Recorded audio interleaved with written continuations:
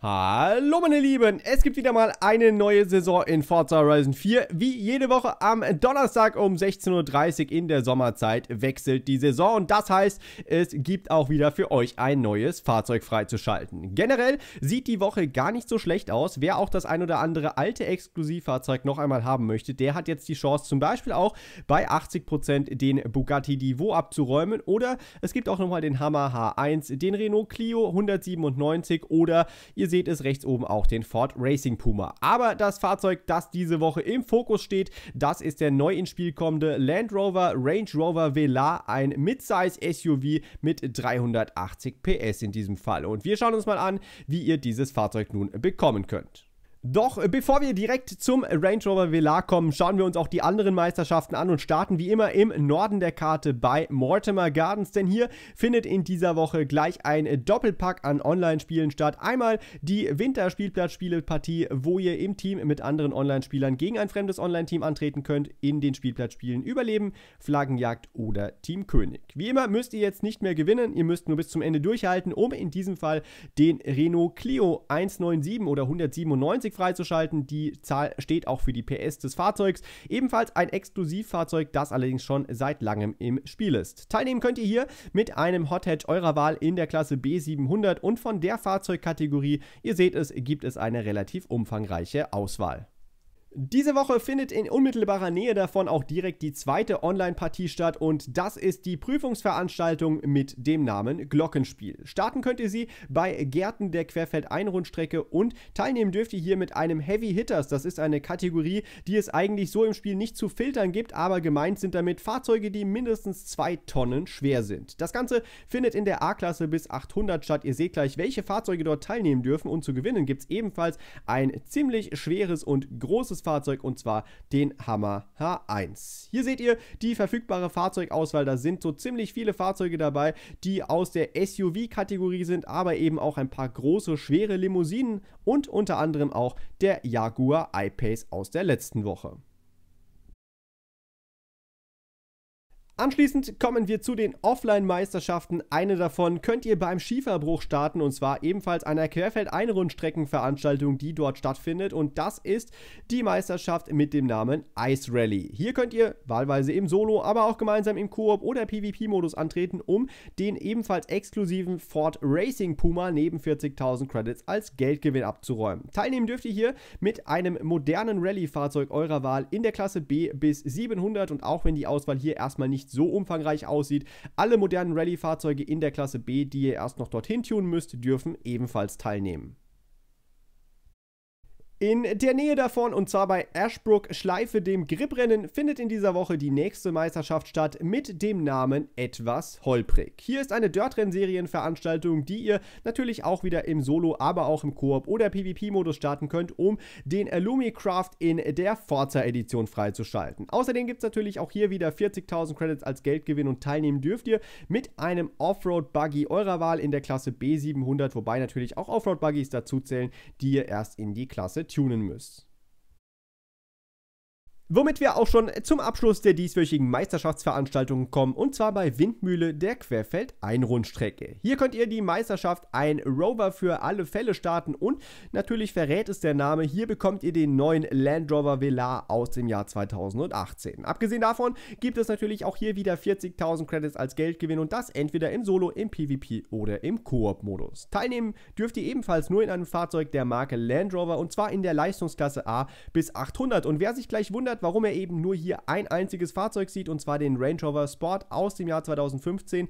Ja, dem kann ich sagen, es gibt natürlich eine ganze Menge weitere Land Rover Fahrzeuge, die sich für die Meisterschaft grundsätzlich eignen. Zum Beispiel habe ich hier ein uraltes Tuning von mir verwendet für den Land Rover Series 3 aus dem Jahr 1972, das ich für euch, ich glaube, auch freigegeben habe. Wer sich das Ganze mit diesem Tuning antun möchte, ich sage es schon mal an der Stelle, es fährt sich wie ein schneller Wackelpudding, aber auf das kommt es ja an, nicht auf den Wackelpudding, sondern auf die Geschwindigkeit, um am Ende auf den ersten Platz zu gelangen. Und ich kann euch auch zu meiner Entschuldigung nicht sagen, in welcher geistigen Umnachtung ich dieses Getriebe übersetzt habe. Aber wer es schafft, mit dem Fahrzeug auf den ersten Platz zu kommen, der hat nicht nur diesen Land Rover Velar verdient, sondern sogar noch meinen gebürtigen Respekt obendrauf.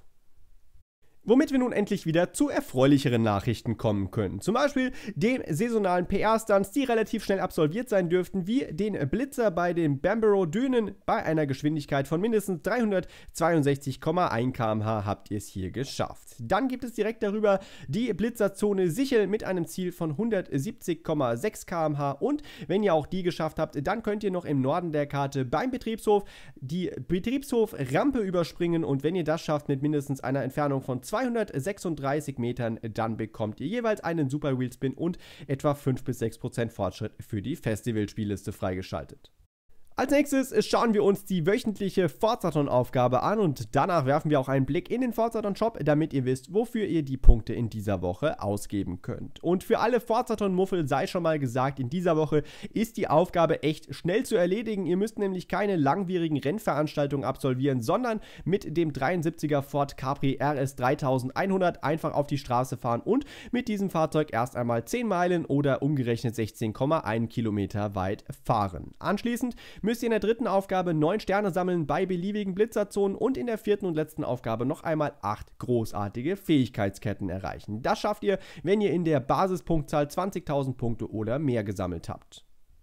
Wie immer gibt es als Belohnung dafür 100 bzw. als Besitzer der Immobilie Lake Lodge 200 Fortsetzungspunkte, die ihr in dieser Woche für folgende Fahrzeuge raushauen könnt. Ihr seht es schon, der 98er Porsche 911 GT1 Straßenversion sozusagen die Evo-Variante mit den 997er Freundlichtern, die kostet in dieser Woche 650 Fortsetzungspunkte. Allerdings ist das Fahrzeug auch ganz einfach über die Automesse zu kaufen. Stattdessen gibt es aber ein anderes Exklusivfahrzeug und zwar den 2018er Ford F150 150 Pre-Runner in der Deberti Design Variante für 450 Fortsetzungspunkte. Den Wagen bekommt ihr, wie gesagt, nicht in der Automesse, also wer noch zuschlagen möchte, kann das gerne tun. Abgesehen davon gibt es die Monster Energy Mütze und einmal den Emote Karate Meister.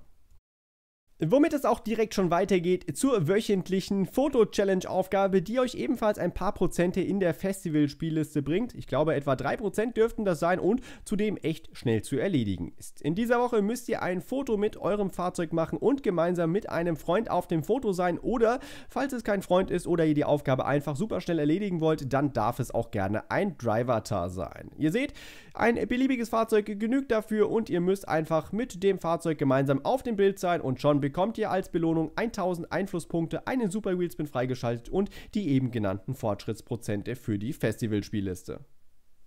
Womit wir nun zum wöchentlichen Exklusivfahrzeug im Spiel kommen, dem Land Rover Range Rover Velar aus dem Jahr 2018. Streng genommen haben wir sogar hier eine besondere Edition und zwar die First Edition aus dem Jahr 2018. Das heißt, ja, erkenntlich ist sie an den goldenen Zierleisten rundherum und die lassen sich nicht umlackieren, sind aber dagegen auch wenigstens konstant bei allen Umlackierungen weiter vorhanden. Also das bleibt euch so oder so am Fahrzeug. Ausgestattet ist der Wagen mit dem damaligen Top-Motor Motor unter den Benzinern, dem P380. Man hört es schon am Namen. 380 PS werden hier aus einem V6 kompressorgeladenen Motor mit 3 Litern Hubraum geschöpft. Die reichen, um den Wagen in 5,7 Sekunden auf 100 zu beschleunigen und über 220 km/h in der Spitze zu liefern. Aber eben bei Range Rover typisch steht nicht nur die Leistung im Vordergrund, sondern auch der Luxus und das Dickschiff, denke ich, lässt sich wirklich sehen. Ob er sich auch gut anhören lässt, das schauen wir uns mal als nächstes an. Oh.